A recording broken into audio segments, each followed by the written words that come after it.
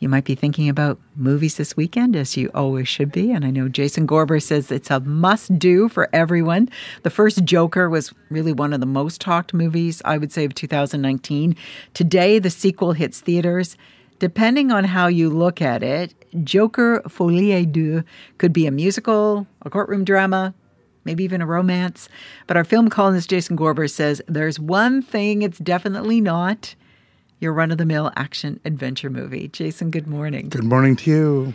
Second installment of the story maybe remind some people where we left off. Okay, so we got Todd Phillips who did the Hangover movies, and then he decided to do a Joker movie. And he did a movie which made well over a billion dollars. It won the top prize at Venice, um, but caused a lot of consternation. It was either people completely responded to the character, not necessarily in a super positive way, thinking that it was sort of aggrandizing this character, or sort of uh, mm, a lot of people uncritically were taking in the film. And I think uh, there, there was and then there was just people who were simply fans to see sort of Batman character on screen. Here we have a film which literally litigates our response to the first film. It's a courtroom drama about Joker itself and asking questions about fandom. And so already a lot of the responses to the film has have been super positive. and I don't even think it's a great film at all. But I think it's a really really interesting film to have something on the scope of a blockbuster but actually it's self-interrogating our response to our love of the anti-hero. Mm-hmm. And it's actually allowing the understanding that is there a difference between our fantasy of what the character should be versus what the character actually is and that dynamic at play? So there's a lot at work here within something that is structured much more as a courtroom drama, as I, as we said, as a, a, musical, as these different elements. What it is not is just a fun, frolicking action adventure, and I think people are going to be expecting that from a character like Joker. The first movie made me so uncomfortable. Mm. I'm not going to lie; I felt very uncomfortable and unease. Not because he was a bad guy, but just psychologically what he was going through. And, and again, I uh, respectfully love when movies can do that. That it's not I, it's not that the film was advocating for the behavior of this character, making you question allegiances or understandings or different people's perspectives or where they're coming from some of the great films I've seen. Um, I, I, go back to a Peckinpah film I saw called Straw Dogs, and the first time I saw it, for half an hour, I was just angry. I'm like, why? Why did the filmmaker do this? Why is everybody in this film terrible? And I realized, oh, the film wants me to feel this. Yes, you felt something, yeah. and it's not usually what you feel from a big grand blockbuster. Is even if the feeling is discussed with the characters, that's a feeling rather than just being erased by a bunch of pixels fighting a bunch of other pixels. It may not be what you're looking for in going to a, a, a film. That's a different conversation, but it at least was dealing with bigger questions at the mm-hmm. best of times.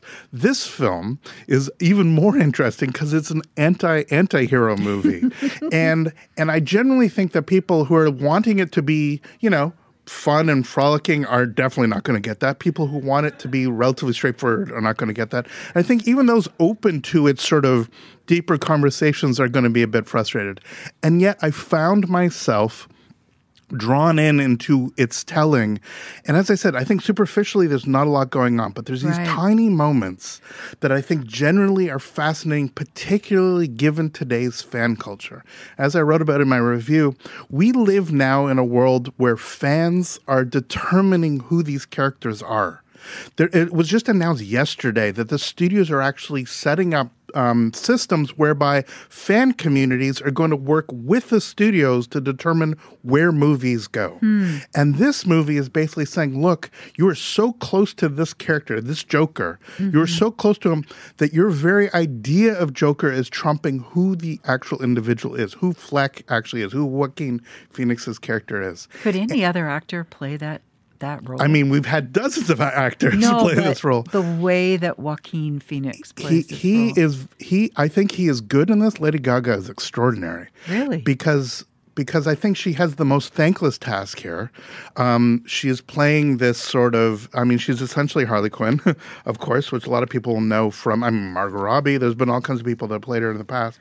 But here she is dancing that dance. She is us as um, sort of general fandom, and her response and what she either gloms onto or rejects is essentially who we are as an audience. And she's doing so. She even dials back her singing to be Is that on sort possible? of to be on his level because the two of them are duetting, so she can't be so dominant that it just becomes ridiculous. Um, I describe it as sort of like karaoke level singing. I think his voice is okay, but it's Lady Gaga for uh, for bloody sake. Um, the, the the the the fact of the matter is is that I think she actually is a very very strong actor. I think Joaquin is strong. I think visually it's pretty straightforward film, but as I said, I think people people will fi- some people some audiences will find something here. But i think if you're going in looking for another frankly a batman movie and uh, speaking of batman Dark Knight, the Christopher Nolan film, I think did a better job of dealing with these incredibly deep psychological, sociological, sociopathic Went farther into the darkness. but also gave us a sense of thrill. And I don't Mm-hmm. know if that's better or worse. I don't know if it's better for people just to think, "Oh, how cool is the Batmobile?" Um, but but as it all plays out, I think this is a fascinating film in the history of this kind of comic book movie because this is very much a movie made by people saying we shouldn't be doing this. And even though Lady Gaga is in it, it is not a musical. It there's musical sequences. It's absolutely plays a musical. They watch classic musicals. They twist on musical. So sure, it's a musical, but it's also so much more, and in Yeah. some ways, so much less. It's all of these contradictions all rolled into one. I I just ask people to go in with an open mind and be comfortable that they're going to be made uncomfortable. I think that's the best thing to do with this kind of film. It's good advice. Jason Gorber, thank you. All the best. Take care. Jason Gorber is Metro Morning's film columnist and editor in chief of That Shelf.